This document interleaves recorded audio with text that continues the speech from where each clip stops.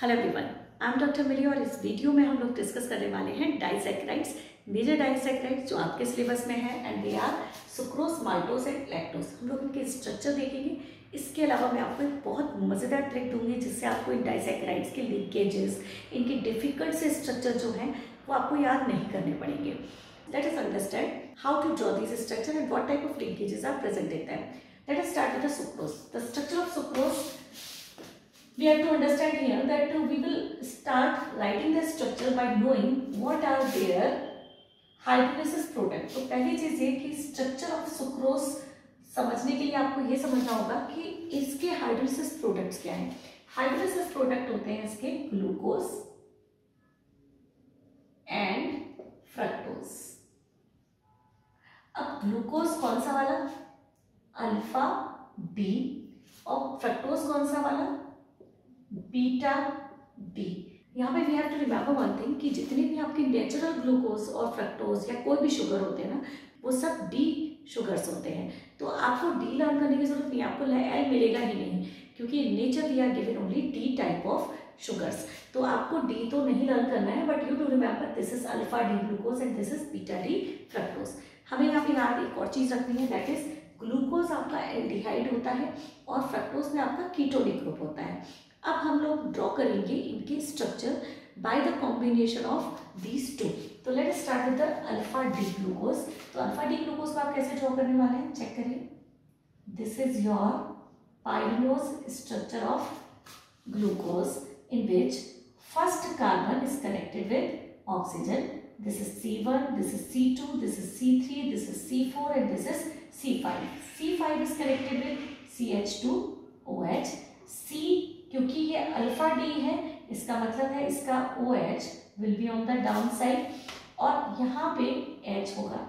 Now, second carbon OH and OH third carbon OH and H fourth carbon, H and OH ठीक? ये हो गया आपका alpha D glucose अब let us draw beta D fructose beta D fructose में क्या होगा? Fructose found in the furanose form और फ्यूरिनस फॉर्म क्या होता है? Five membered ring five membered ring जो कि कंपेयर कर सकते हैं हम फ्यूरान कंपाउंड से। फ्यूरान क्या होता है? इस तरीके का एक कंपाउंड होता है जिस जो कि हेट्रोसाइक्लिक होता है। पाइरान सिक्स मेंबर्ड रिंग था like this furan five membered ring है। तो फ्यूरेनस फॉर्म में आपकी फ्रक्टोज मिलती है। और जो आपका फ्रक्टोज है, ये बीटा फ्रक्टोज है तो आपका जो फ़र्स्ट कार्बन है, वो यहाँ होगा। Check this C H two O H अब जो कार्बन सेकेंड है वो कौन सा है? ये आपका बीटा डी है। बीटा का मतलब हुआ आपका जो ओ एच है, वो on the left hand side होगा।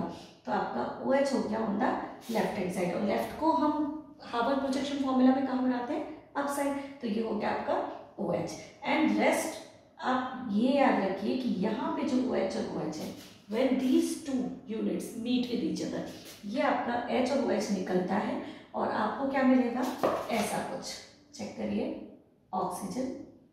Not drawing now the H and O H here major thing here is H O H of this and O H of this they have removed one water molecule so what is left out only oxygen which is forming a link between this glucose कौन सा वाला glucose alpha D और fructose कौन सा beta D ठीक fructose is what furanose form तो ये five membered ring हो गई। यहाँ क्या लगा है? C H two O H क्योंकि this is this is fructose और फ्रक्टोज में कार्बन नंबर ये टू होता है। फ़र्स्ट कार्बन आइटम पे कोई भी कार्बोनिल ग्रुप नहीं है सेकंड पर कीटोनिक ग्रुप होता है। तो this is beta D glucose and this linkage which is formed here is called glycosidic linkage क्या बोलते हैं इस लिंकेज को?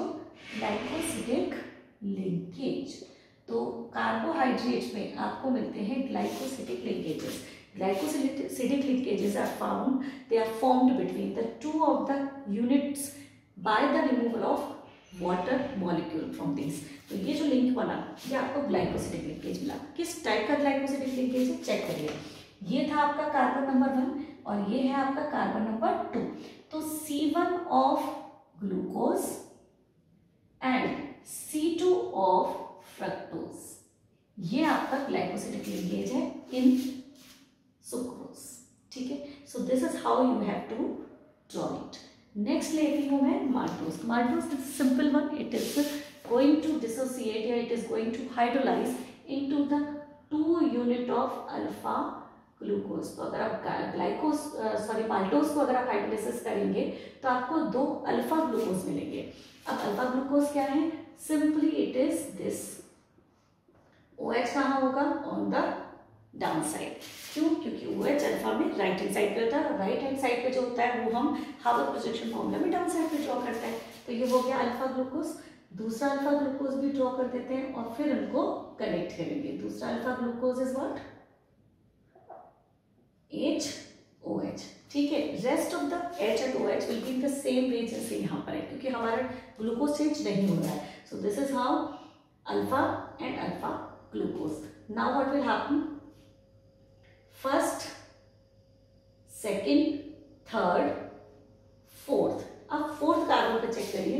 H and O H H and O H ये आपका एच ओ एच अब यहाँ पे this O H and this O H are going to remove one water molecule तो देखिए क्या मिलेगा आपको? आपको कुछ ऐसा मिलेगा? This H H H O H O H O H and OH. What is left out? Oxygen. Between the two units, there is oxygen. ये जो आपको स्ट्रक्चर मिला this is what this is maltose and maltose में आपको जो connection हुआ, ये हो गया आपका ग्लाइकोसिटिक लिंकेज और किस टाइप का ग्लाइकोसिटिक लिंकेज हुआ how you going to identify that linkage as C1 of one unit of glucose C1 of first unit of glucose और सेकेंड यूनिट का कौन सा है C1, C2, C3 and C4. So you can say that C1 and C4 glycosidic linkage is present in the in. ठीक है तो this is how you can draw the maltose आप H और O सारे लगा सकते हैं। अगर there is a simple one mark question तो you can show this this way also this is no marks detected for this particular thing but you have mention there what type of linkage is present C one C four of two alpha glucose unit and alpha glucose यहाँ पे alpha D ही है because nature gives us only D type of glucose fructose और any any any sugar which is present in the nature is D type ठीक है? Now let's talk about next lactose. Lactose gives you two units of on hydrolysis क्या देगा आपको? आपको देगा ये beta D glucose and beta D galactose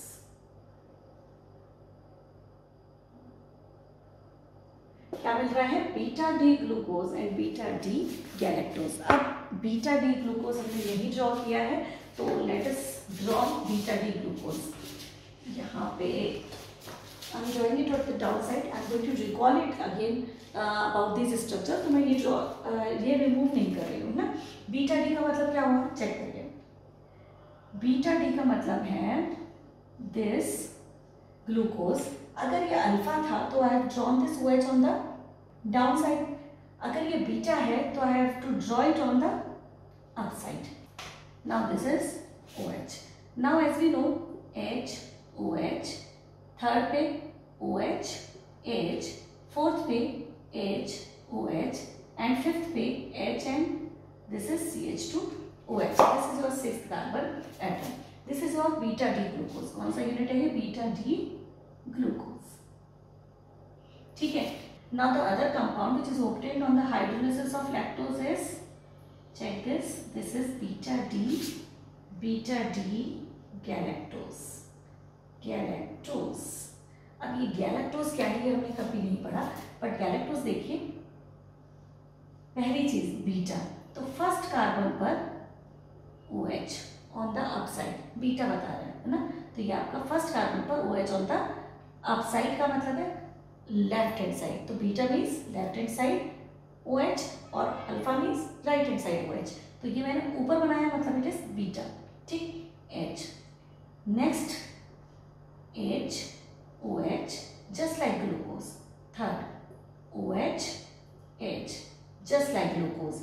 Fourth, C4. C4 पे glucose में on the right hand side है यानी डाउन साइड लिखा है यहाँ पे एच एंड एच यानी if you compare the structure of this galactose with glucose compare कीजिए बीटा डी ग्लूकोज को कंपेयर कीजिए बीटा डी गैलेक्टोज से H H O H H O H O H H same substructure is same completely all the positions of H and OH is same the number of carbon atom is same the formula of glucose and galactose both is C6H12O6 लेकिन इसके structure में और इसके structure में where is the difference this is at the C4 carbon atom कहाँ पर difference है C4 carbon atom पर सी फोर कार्बन आइटम पर ग्लूकोज में O H on the down side है, जबकि यहाँ पे O H on the upside है। This is the difference between the galactose and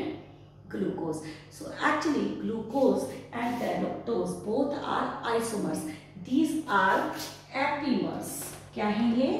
epimers epimers क्या होते हैं?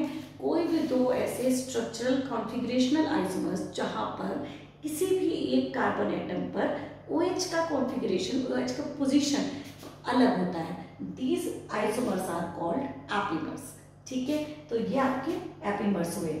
Now what we have to see how we are going to link them check this C4 carbon atom of beta D glucose ये देखिए C1 C2 C3 and C4 ठीक?